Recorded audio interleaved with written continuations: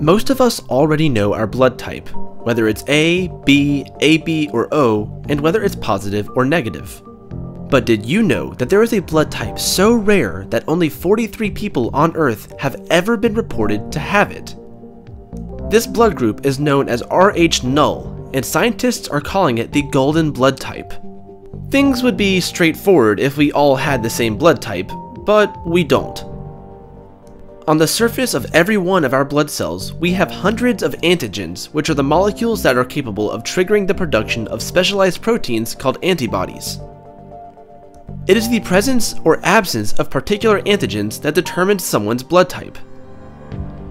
For example, you may have AB blood in the ABO blood group system, be Rh positive in the Rh system, as well as being K positive in the Kell system, and so on. Of the 32 blood group systems, the Rh system is the largest, containing 61 antigens. Interestingly, 99.999994% of people in the world have blood with Rh antigens on their red blood cells.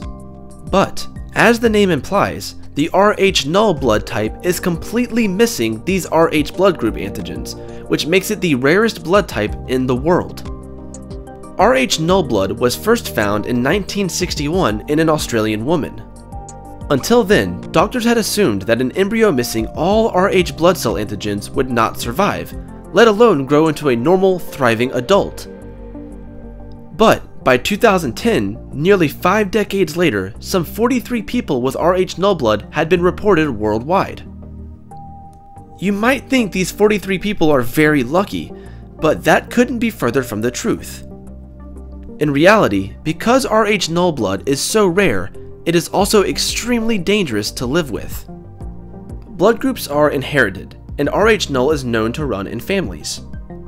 But when researchers tried to find the genetic basis of this golden blood type in one of the subjects, they found that Rh null blood was due to two completely different random mutations on pure chance, which is one reason why this blood type is so rare. Your immune system naturally contains antibodies, which help to fight off any foreign material that your immune system doesn't recognize, such as viruses and bacteria. These antibodies can also attack antigens that aren't present in your natural blood type. For example, if you have type B blood and you receive a blood transfusion of type A blood, your antibodies will work to destroy the A antigens. This can have life-threatening results. This means if you have the Rh null blood type, receiving a transfusion of a blood type with any Rh antigens will cause your body to reject the blood. Because fewer than 50 individuals in the entire world have the Rh null blood type, finding a blood donor for Rh null individuals can be nearly impossible.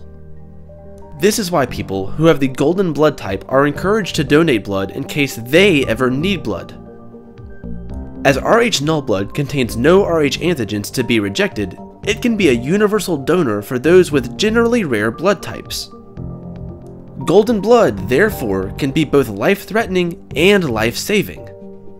And while your chances of having the rarest blood type are incredibly low, it's important that you know what your blood type is. You never know when your life will need to be saved, or when you could save someone else's.